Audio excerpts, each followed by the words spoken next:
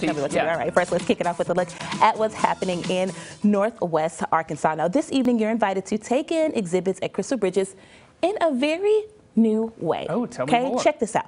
So, what they're doing is called. Um, excuse me, I'm getting caught up on my hockey stick here. Um, cocktail hour, family ties. So what you'll do is you'll meet at 11 restaurant tonight at 6.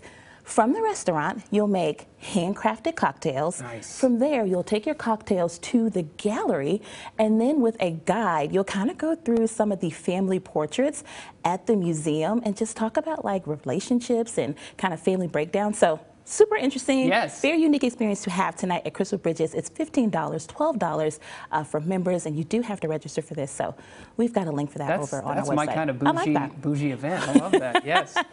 the region is celebrating Black History Month with several events planned. Downtown Rogers has its Art on the Brick series, Mm-hmm. and this month's theme is Reflections. End of View Gallery and Studios is hosting Reflections of the Black Experience, exhibit highlighting artists from all backgrounds and styles and practices.